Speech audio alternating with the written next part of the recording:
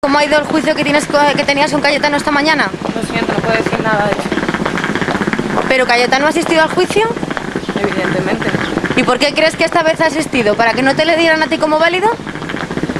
Pues no lo sé, porque tiene que presentarse, que para eso ha demandado, ¿no? Pero en el otro juicio no se presentó y por eso, ¿qué vas a hacer si pierdes la demanda contra Cayetano? La verdad que creo en la justicia y espero que sea justa en este caso, porque yo no he dicho ni he hecho nada de lo que se me acusa. Pero si te toca pagar los 100.000 euros, ¿cómo lo vas a hacer, Estefanía?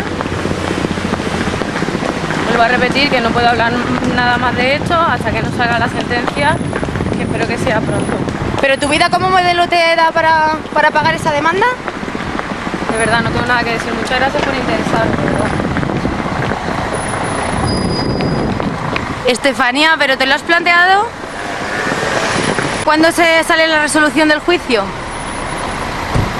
¿Eh, ¿Ha quedado visto para sentencia? ¿No nos puedes decir nada? De verdad, muchas gracias por todo. ¿Cayetano estaba contento? Estefanía, ¿crees que hoy tienes posibilidades de ganar?